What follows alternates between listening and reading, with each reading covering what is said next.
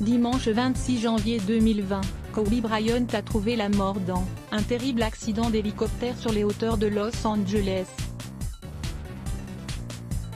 La star de la NBA âgée de 41 ans était accompagnée de sa fille, de 13 ans, Gianna, mais aussi de trois membres d'une même famille.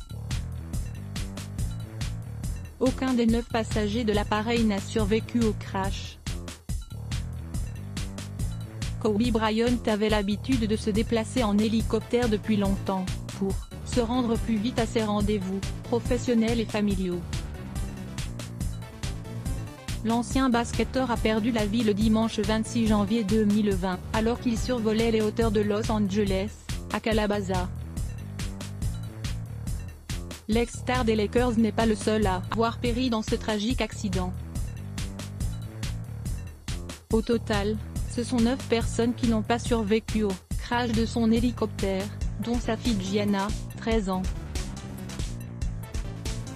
Toutes se rendaient à un match de basket. Au fil des heures, les noms des autres victimes ont été dévoilés. C'est ainsi qu'il a été confirmé qu'un entraîneur de baseball se trouvait à bord, John Altobelli.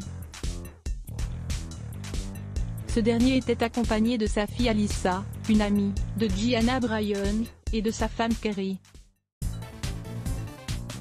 L'information a été confirmée par la famille de John Altobelli, puis relayée par la mère de Costa Mesa, située dans la banlieue de Los Angeles, et le club de Orange Coast College, que John Altobelli entraînait.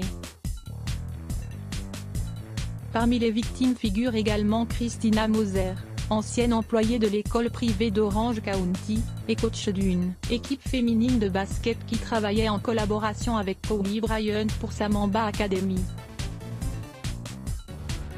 Son mari, Matt Moser, a exprimé sa douleur sur Facebook. Mes enfants et moi sommes dévastés. Nous avons perdu notre magnifique femme et maman aujourd'hui dans un crash d'hélicoptère. S'il vous plaît, respectez notre vie privée. Merci pour tous vos soutiens, il veut le dire beaucoup, a-t-il publié. Christina et Matt étaient ensemble depuis 14 ans, ils avaient fondé une famille de trois enfants, deux filles et un garçon. Une autre adolescente et un parent de celle-ci, ont également péri dans le crash. Les noms des victimes ne seront dévoilés par les autorités qu'une fois les corps formellement identifiés, et les familles prévenues, a déclaré le shérif, Alex Villanueva lors d'un point presse. Il serait extrêmement irrespectueux qu'ils apprennent par TMZ que leur être cher a péri, a-t-il argué, se référant au site internet d'actualité sur les célébrités qui a annoncé le premier la tragédie. L'hélicoptère de Kobe Bryant avait décollé de l'aéroport John Wayne de Santa Ana à 9h06 heure locale et les pompiers ont reçu un appel peu avant 9h37 au sujet de l'accident, qui a provoqué un feu de broussailles sur une colline.